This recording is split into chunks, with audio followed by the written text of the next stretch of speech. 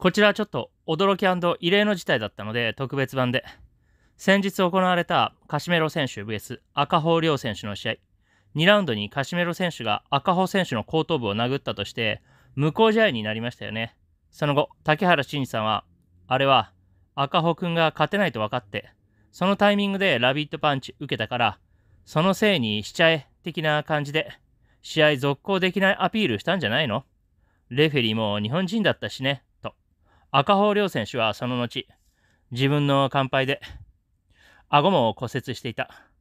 心も実は折れていました。と認めておりまして、いつも人の問題には YouTube で首を突っ込んで持論を展開しているくせに、自分がこのありさまとは何だ？という批判も噴出しておりまして、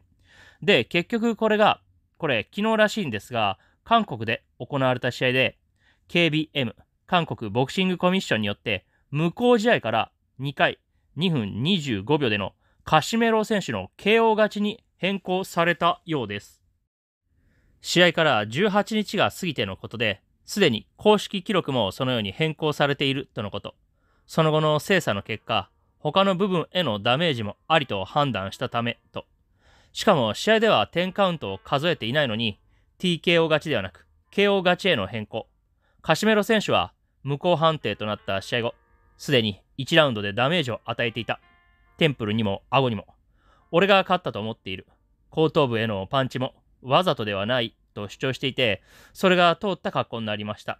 カシメロ選手は復活をかけた試合だったので、地獄から一転して舞い戻れたという結果になりましたね。この試合は元 WBO スーパーフェザー級チャンピオンの伊藤正幸さんが初めて興行を取り仕切った大会ということでも注目を集めましたが、この時のレフェリー、日本からも派遣したのは伊藤さんなので、工業を打ったことの、打つことの難しさも思い知らされる、ほろ苦の結果となってしまったんではないでしょうか。赤穂亮選手、今のところ、ツイッターなどでの反応はまだないです。